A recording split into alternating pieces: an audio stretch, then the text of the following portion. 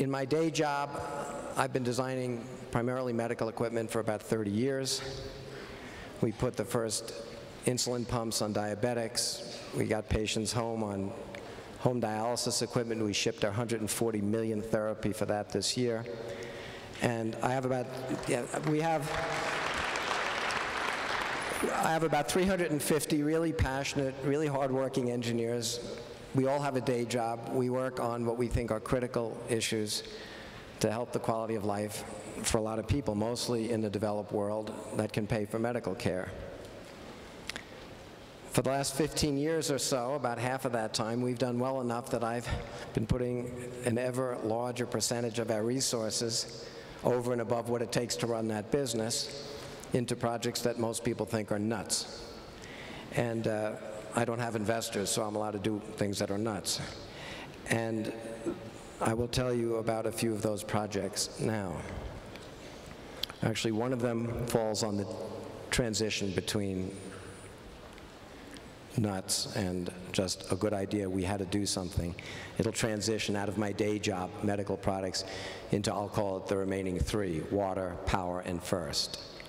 The transition project I'll tell you about, we were approached by the Department of Defense and DARPA a couple of years ago who came to visit us and said, already 1,600 kids have come back from Iraq missing a complete upper extremity a couple of billion, a couple of billion, a couple of dozen are bilateral. If you think about losing an arm, imagine losing both. Losing one then seems like an inconvenience. We were told that what the current state of the art is basically they put hooks on these kids and they send them through rehab. That's what they did at the end of the Civil War there's not a big market for this stuff. The big medical companies don't do this stuff. I went home after listening to these guys and I couldn't sleep thinking about bilateral.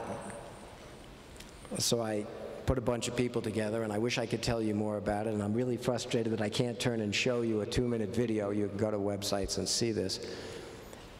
But in one year, we built a 14 degree of freedom, fully articulated arm weighs 8.9 pounds, the same weight as the original equipment, 32 inches long, would fit on a 50th percentile female frame.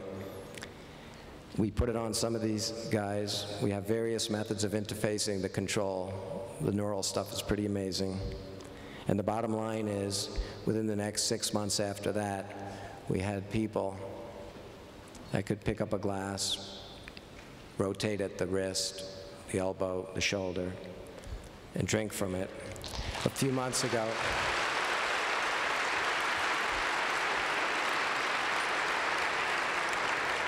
a few months ago, we had a kid that came in that was getting out of a troop transport, transradial on one arm, transhumeral on the other. Put it on him. Within a couple of days, he and a couple of guys were sitting up in New Hampshire. One who hadn't fed himself in many years, was there with his wife, doing something I can't do. He was eating cereal with milk, with a spoon, and he didn't drop any of the milk. And his wife turned to me and said she hasn't seen him feed himself in years, so I had a choice. They keep the arm, or I keep Chuck. So that has re-energized us to work faster, and we hope to put those machines on people for real soon.